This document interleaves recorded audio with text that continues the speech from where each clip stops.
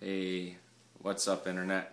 It is VEDA, day 31, the last day. Technically, I think I still have nine minutes before this day is over to uh, record this video and get it uploaded, and technically have uh, not missed the day. So, today, for the final VEDA video, is the wrap up thoughts. What was the experience like? And tell you what else I'm going to talk about, but then why would you watch the rest of the video? See?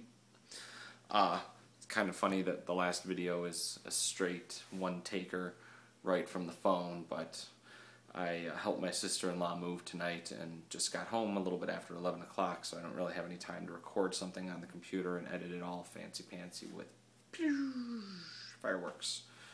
So no fireworks for the final video. So looking back, I this was pretty cool.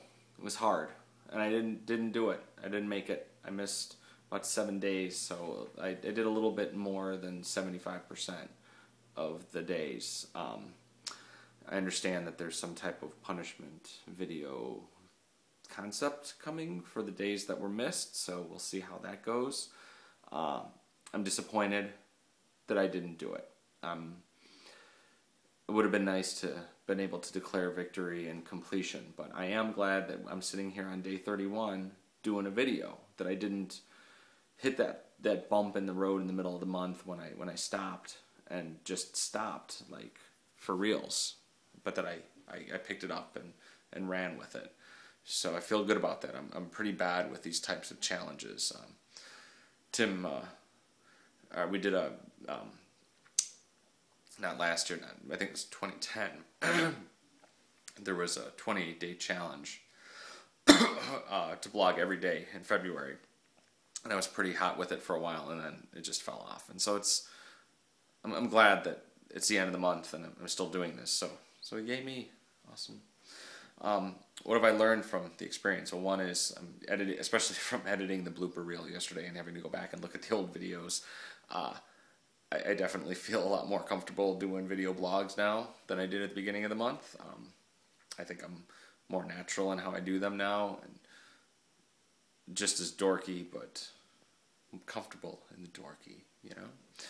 Um, saying you know a lot in this video. I don't usually do that, and usually I get to edit them. Maybe that's why you don't see them. I also do this a lot. I learned from the blooper reel when I'm trying to figure out what's going on.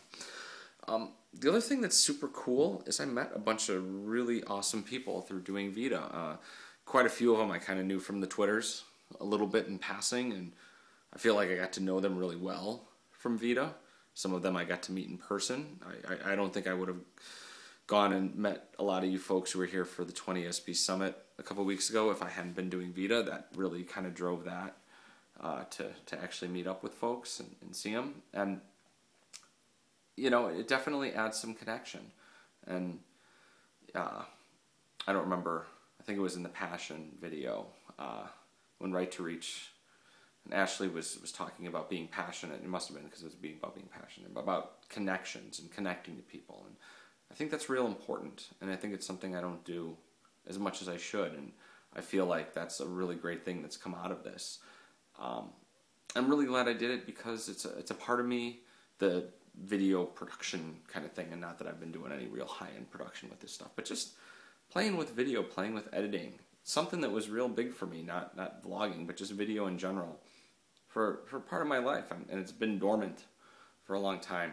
it was pretty cool to do it, and I, I'm I'm just really pleased with this experience, and uh, I'll do it again, and I think I'll be doing more vlogging with my blog going forward. Do it every day? No, no. Maybe we'll try once a week. One, once a week, a Matt vlog. Might be cool. Might be cool. But for the last time in August of 2011, I love your faces. Thanks, VEDA. This was cool.